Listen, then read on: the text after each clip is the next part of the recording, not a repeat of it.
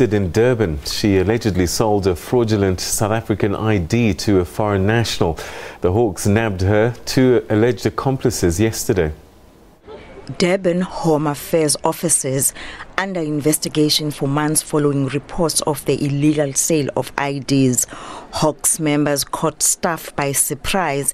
They arrested this woman. She allegedly sold an ID to a Mozambican national in 2013 for 1,800 rand. The woman called Home Affairs Minister Malusi Gigaba's office after the incident. The Mozambican national says the ID had incorrect details. The suspect assured her that it will be rectified, but two years later, she still had a fake ID with wrong details. I think we have won the battle.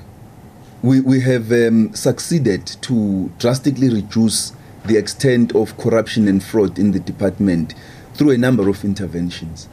Gigaba says the investigation will determine how widespread the problem is. From our knowledge, this is limited only to that Durban office at Umgeni. And we, we, we will continue to investigate. I think when the trial starts, we will be able to determine whether the, the, the, it's a syndicated campaign based in different offices The Umgeni Home Affairs is notorious for long queues.